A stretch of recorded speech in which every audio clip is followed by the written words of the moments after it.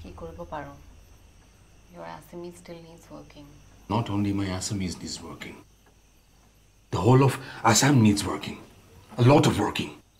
সেই যে ৰায়ত হৈছিল সেই জেগা টুকুৰাত নেলি আমি ইয়াত বহি নদীৰে উটি যোৱা মৰা মানুহবোৰ গন্তি কৰিছিলোঁ এদিন আমি চল্লিছটা গন্তি কৰিছিলোঁ জান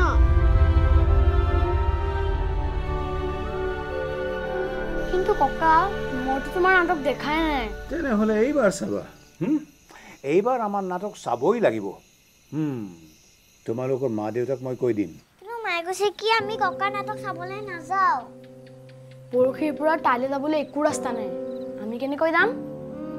সেইটোৱেইটো মই চাগে এতিয়া জীৱনত নাটক চাব নাপাওঁ। চিন্তা নকৰিবি। মই তোৰ কাৰণে নাটক কৰিম। তুমি? ৰিয়েলিষ্টিক গল্প মানে এই ৰিয়েলিষ্টিক ষ্টৰী তহঁতে যে পূজাত পুতলা পিষ্টল দি খেল তহঁতে পুতলা পিষ্টল দি ভয় খাওঁ জানো? কিন্তু কোনোবাই যদি এটা সঁচা পিষ্টল এটা লৈ আনে।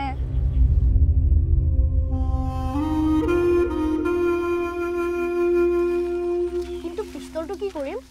লৈ আনিবা গধূলি ৰিহাৰ্চেললৈ। সঁচাকৈ আনিব লাগিব। অঁ।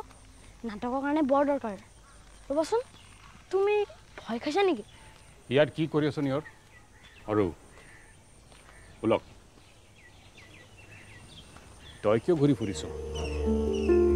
ঐ এতিয়া কিন্তু কোনো ক'তো নাযাবি নহ'লে কিন্তু নিয়ৰে গুলিয়াই দিব।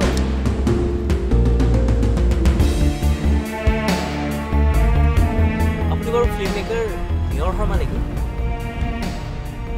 পুলকে উগ্ৰপন্থী সংগঠনটোত যোগ দিছিল? আপুনি নাজানে সিটো এই অঞ্চলৰ পুলিচ মিলিটেৰীবিলাকৰ কাৰণে সন্ত্ৰাস আছিল এটা। আপুনি পুলকদাৰ সৰুকালৰ বন্ধু নহয় জানো? কিন্তু আপুনি তেওঁৰ বিষয়ে যোৱা ত্ৰিছ বছৰে তেওঁৰ জীৱনত কি কি হৈছিল একো নাজানে আৰু জনাৰ চেষ্টাও কৰা নাই। এতিয়া কিয় আহিছে ইয়ালৈ?